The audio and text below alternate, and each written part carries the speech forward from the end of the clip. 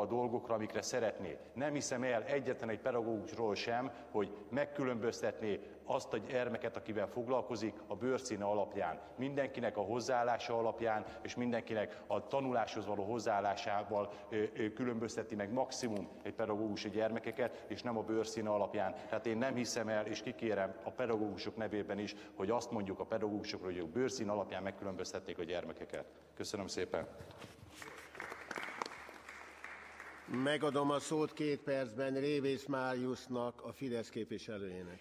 Köszönöm a szót, elnök úr. Tisztelt uh, Ágnes, az az igazság, hogyha nem szakértői anyagot olvas fel, akkor sokkal közelebb áll az álláspontunk egymáshoz.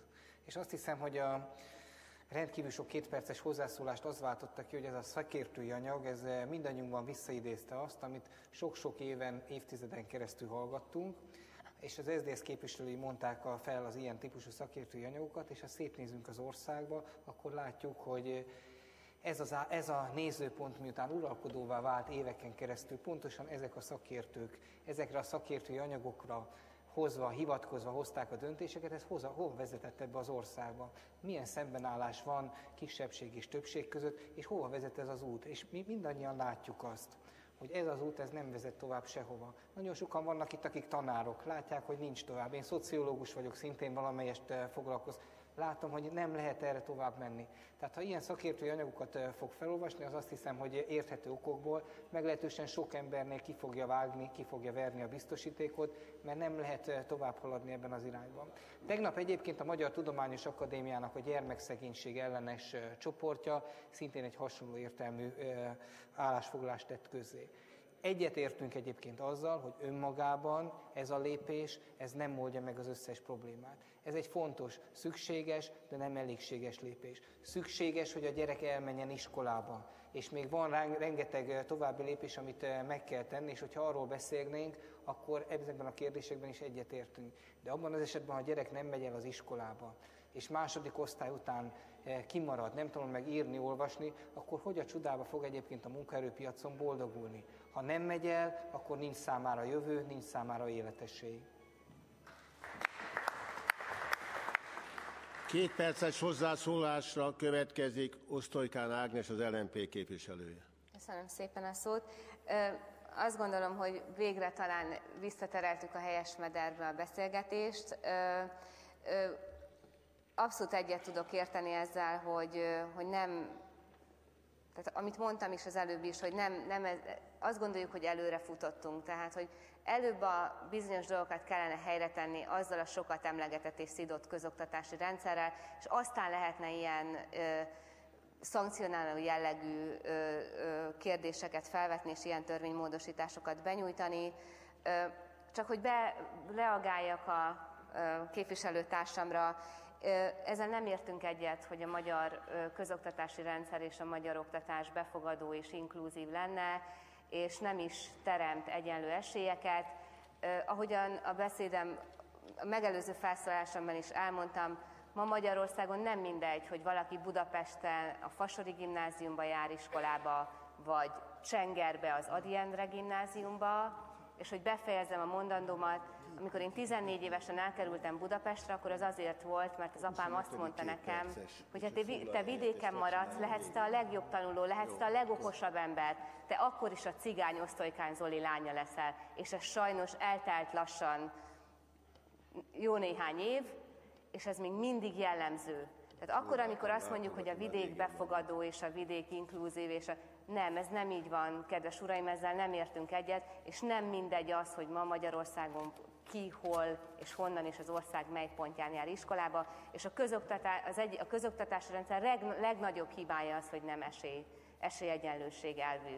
Mert azt gondolom, hogy akkor működik jól egy rendszer, hogyha a gyerekem Csengerbe, vagy Budapesten, vagy Szombathelyen, vagy Sopronba jár iskolába, mindenhol ugyanazt a szintű képzést kapja, amivel egyenlő eséllyel tud tovább lépni. Köszönöm szépen. Két perces hozzászólása megadom a szót Harrak Péternek, a KDNP képviselőjének. Elnök úr, tisztelt ház, úgy érzem, hogy egy viszonylag egyszerű intézkedés kapcsán eljutottunk nemzeti sorskérdéseinkhez. Elsőként említésre került már a népesedési helyzet. mindig azt vallottam, hogy ez az első számú sorskérdés, és ö, melbevágó volt, amit képviselőtársam az előbb mondott, hiszen a többségi társadalomnak a nagy bűne az, hogy kevés gyermek van. Tehát ilyen értelemben akár tanulhatnánk is a cigány családoktól a gyermek szeretetet. Éppen azért nem az a nem szabad cigány kérdését tenni ezt a családtámogatási kérdést, mert nem minden cigány családra jellemző, ugyanakkor nem csak a cigány családokra jellemző. Ha már példákat említettek, és néhány oktatási intézményről szó került, akkor hadd mondjak én is egy-kettőt. Mindig úgy gondoltam, hogy a nehéz helyzetben levő, leszakadt családoknak a gyermekeit két intézmény tudja igazán megfelelő módon nevelni és beilleszteni. Az egyik az óvoda, hiszen ott szocializálódik kisgyermekként. Nagyon jó példát láttam Baranyában, az ottani plébános vezette ezt a, a falut magát, amely egy tiszta cigány falu volt egyébként, és létesítette ezt az óvodát. És egy másik egyházi intézmény egy kollégium, ahol 60 középiskolás cigány gyerek élt, és amit sajnos az elmúlt ciklusban megszüntettek.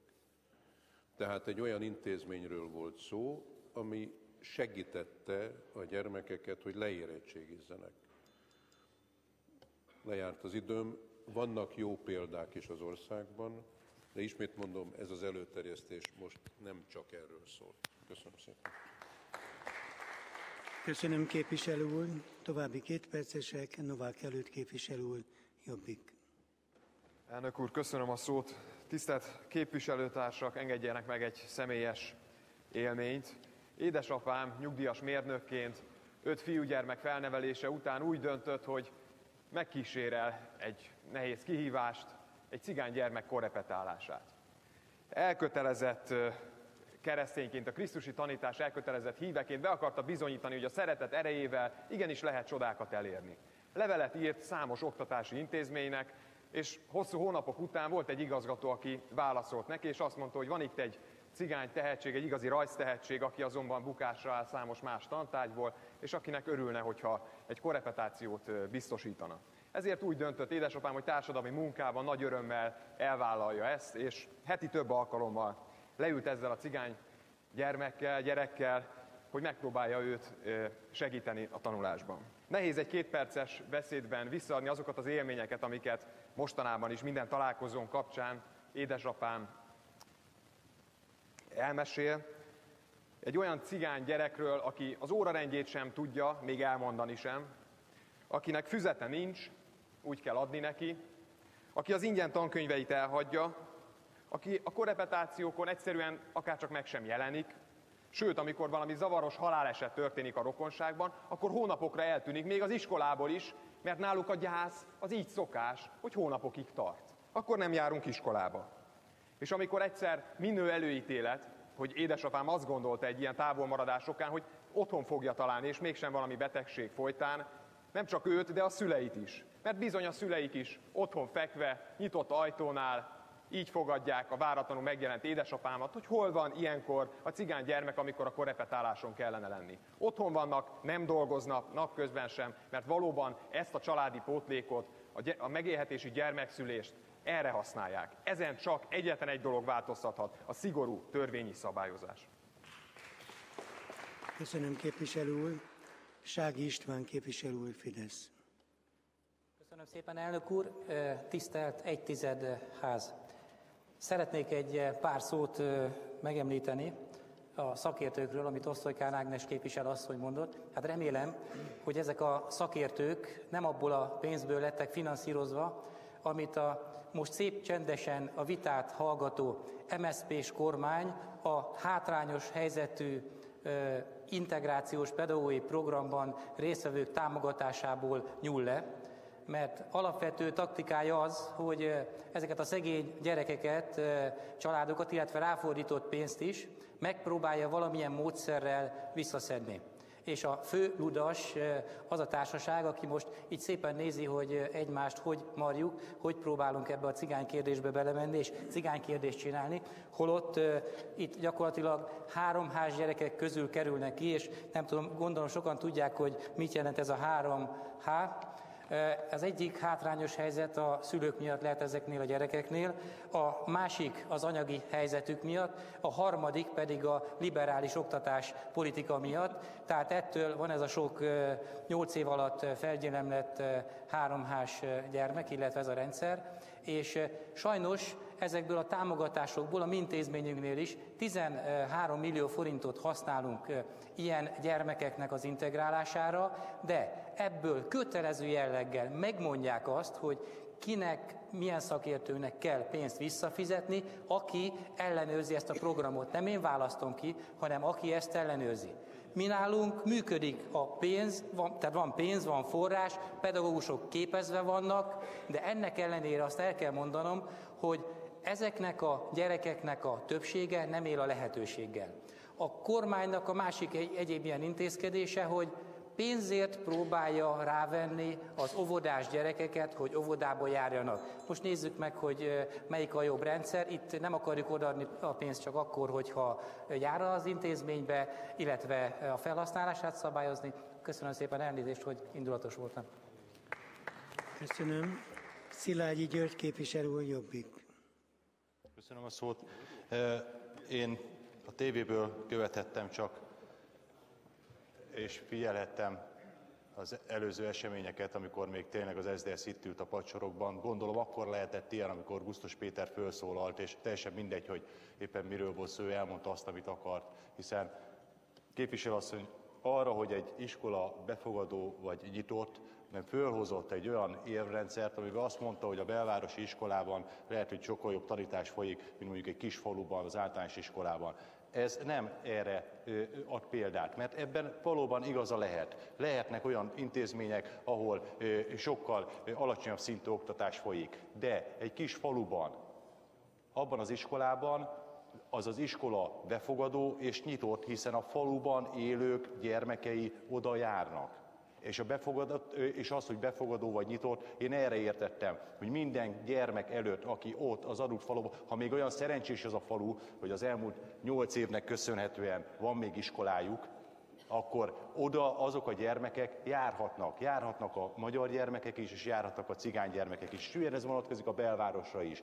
Az a belvárosi iskola ugyanúgy nyitott. Járhatnak oda magyar gyermekek és cigány gyermekek is. Mindenkinek a szülei döntik el, hogy járhatják-e a gyermekeiket iskolába, vagy nem. A nyitottság erre értendő, és az is meggyőződésem, hogy aki ma pedagógusként dolgozik, mondjuk egy kis faluban, az biztos vagyok benne, hogy nem különbözteti meg a gyermekeket bőrszín szerint, hiszen örül annak, hogyha minél több gyermek jár az iskolába, és minél több gyermek kerül ki a keze alól. Higgye el, hogy a magyar pedagógusok azok ilyenek, mert még akkor is tanítanak, amikor éppen rugdossák őket, láthatott erről felvételeket. És arról nem ő tehet, hogy mondjuk egy gyermeket úgy tanítanak meg, hogy ennyire tisztelje a tanárokat. Köszönöm, Köszönöm. szépen. Kontúr Pál képviselő Fidesz. Köszönöm szépen a szót, elnök úr. Hölgyeim és uraim, szerintem a törvény szövegéhez térjünk vissza. Ez arról szól, hogy azok nincsen leírva benne az, hogy cigány. Ilyen szó nincs leírva a törvényben. A törvényben arról van szó, hogy iskolába kell járni minden gyereknek. Ugyanis, ha iskolába jár egy gyerek, akkor van lehetősége egy szakmunkás iskolába is járni, és hogyha azt is elvégzi, akkor van lehetősége munkához jutni, és emberhez méltó életet élni felnőtt korára. Erről szól a történet. A Fidesz véleménye és a programban azért került ez beadásba a, a kormányprogramban, mert ezt már kipróbálta a Fidesz, és volt eredménye. Ha nem lesz jó, akkor változtatni fog a Fidesz azok a sugók és azok a szakértők,